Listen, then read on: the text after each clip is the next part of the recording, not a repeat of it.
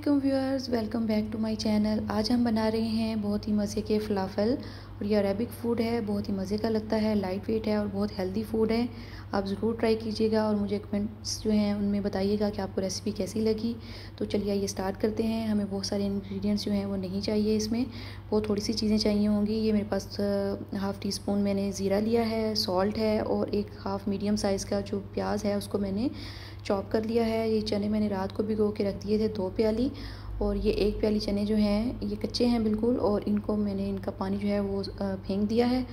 और ये मेरे पास दो से तीन सब्ज़ मिर्चें मैं इसमें ऐड करूँगी। वैसे तो इसमें सब्ज़ मिर्चें ऐड नहीं होती हैं, लेकिन मैं इसमें ऐड कर रही हूँ टेस्ट के लिए। तीन से चार मैंने इसमें आप यूज़ कर सकते हैं लहसुन के जवे। और ये हम चने जो हैं, इनको अपने चॉपर में डाल लेंगे। और ये बहुत सारा धनिया जो है, इसको मैंने वॉश कर लिया है, वो ऐड करेंगे हम इसमें। इसमें रेड चिली नहीं जाएगी बिल्कुल भी।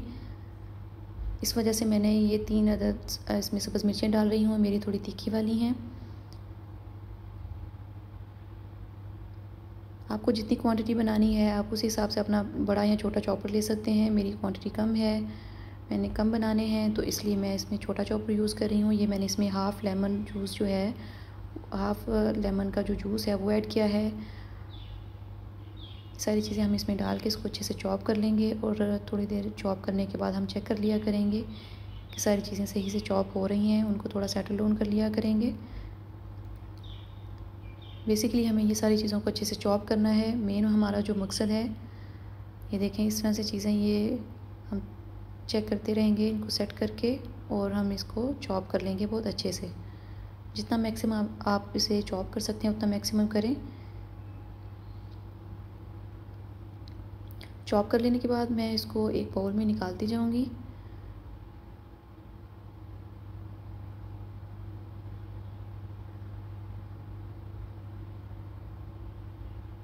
आप देख रहे हैं कि सारी चीज़ें अच्छे से चॉप हो गई हैं। हमें, हमने इसमें ना पानी ऐड किया है, ना कोई और चीज़ ऐड की है। इनको जस्ट ऐसे ही हमने चॉप किया है।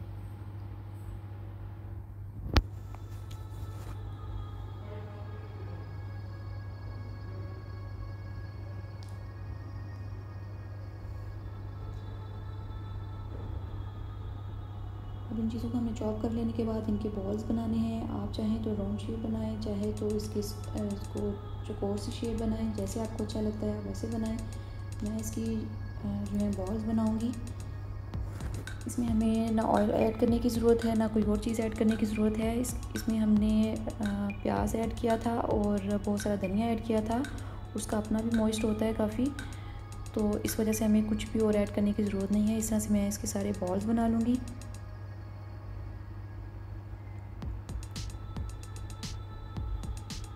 आप चाहें तो इसको फ्लैट भी कर सकते हैं।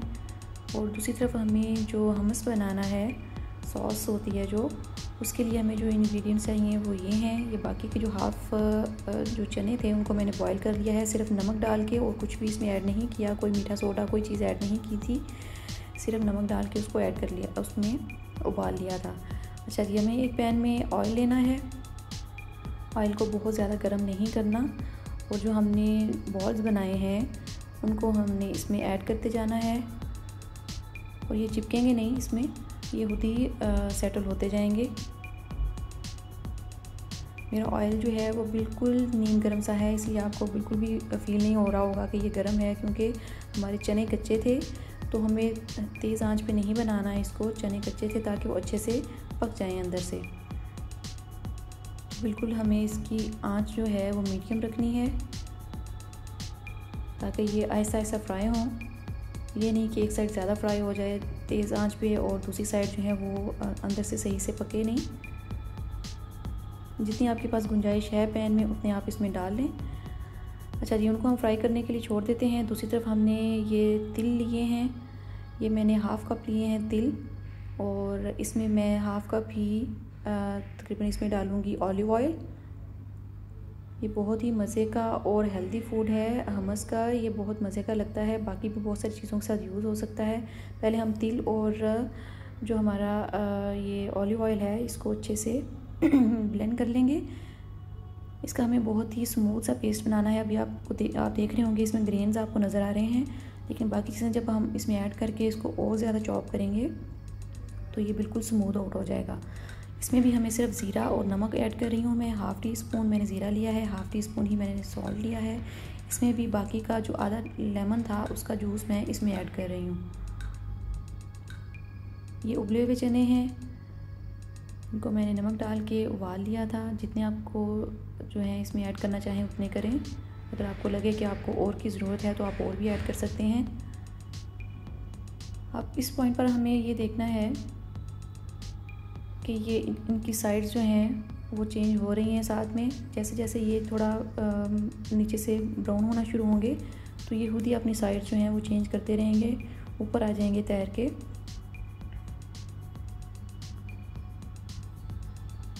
हमें बहुत ज़्यादा इसमें चम्मच चलाने की या कुछ भी करने की ज़रूरत नहीं है। अच्छा जी, दूसरी तरफ़ हमने ये इसको सारी चीज़ों को ग्राइंड कर लिया है अच्छे से। मैंने इसमें थोड़ा सा पानी भी ऐड कर लिया था जहाँ पे मुझे ज़रूरत लगी कि ये सही से इसका पेस्ट नहीं बन रहा है तो मैंने इसमें थोड़ा सा पानी भी ऐड करके इसको अच्छे से ब्लेंड कर लिया है। ये हमारा हमस जो है वो रेडी हो चुका है।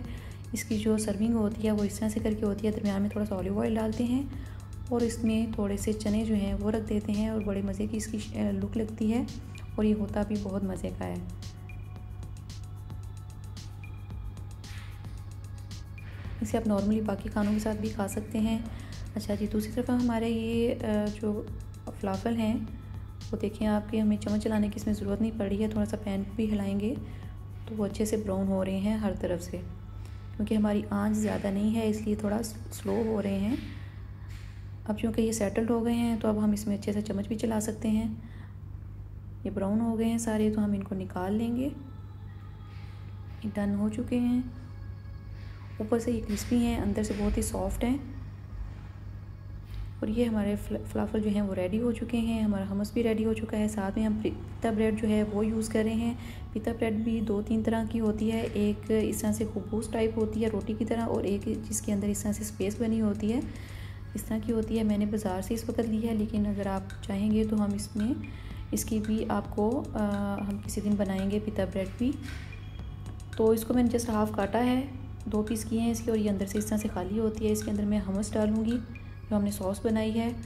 और इस तरह से करके बाज़ार से मिलता है। ये अंदर इस तरह से सेट हुए होते हैं। इनको थोड़ा सा ऐसे दबा लेंगे और इसके ऊपर थोड़ी सॉस और डाल लेंगे। तो इस तरह से ये फलाफल सैंडविच इनको कहा जाता है। आप खबूस के साथ या इस पिता ब्रेड के साथ वो फलाफल वैसे भी खा सकते हैं। इस तरह से सैंडविच बना के भी खा सकते हैं। दोनों सूतों में बहुत मज़े के लगते हैं। उम्मीद है आपको रेसिपी पसंद आई होगी। मिलते हैं अगली वीडियो में। अल्लाह हाफिज़।